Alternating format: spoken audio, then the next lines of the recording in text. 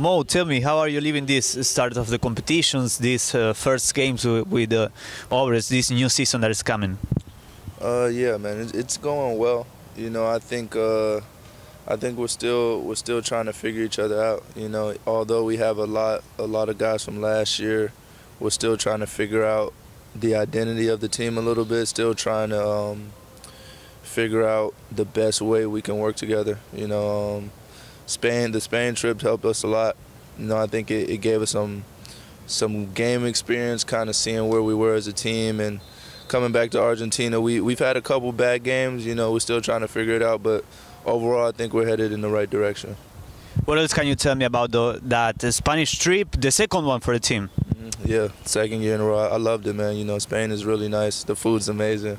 It's probably my favorite part. But you know, it allows us to to come together as a team. You know, on and off the court, just kind of get familiar with each other. Just you know, build build stronger relationships. And when you do that outside of the court, I think it, it shows on the court. You know, you, you become more of a unit. It's very important. Were you in the in the first uh, journey there in Spain last year, not this one? And uh, which difference did you find between uh, the, the last one and, and and this year? Um, this year was a little tougher, I think, because of the schedule of the games. You know, we had a tournament where we played. Um, I think we had a stretch where we played like four games in maybe six days, four games in seven days, and that was that was kind of tough. But uh, it was a good challenge for us, and I think a, a lot of the young guys stepped up, and you know, I, I think they're. Uh, a lot of our younger players are ready to take another step up this year, and you know that's going to be huge for us. You know their development and and them kind of coming into their own more, I think is, is very important. So far, you, you really own uh, Obras Basket hard, and all the people, all the crowd really support you. you you're a quiet player outside the court. I mean, uh, day by day, you are you are really quiet, a, a calm person, but inside the court, you are the Black Panther. What is all about?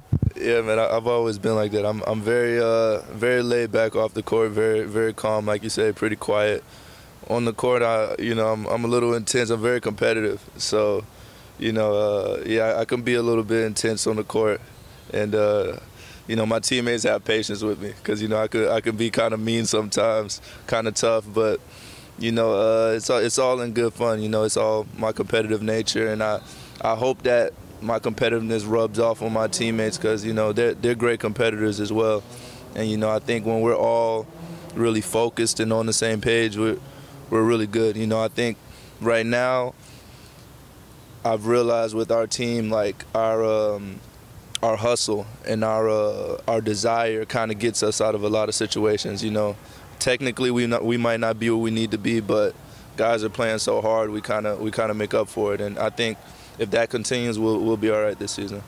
About your family, I mean, it's the first time that they are here, right? No, no, no. My my family has visited uh, maybe this might be the fifth time. You know, it's close to Miami, so that's is one of the things I love about Argentina. You know, it's just a just a quick flight, really quick flight.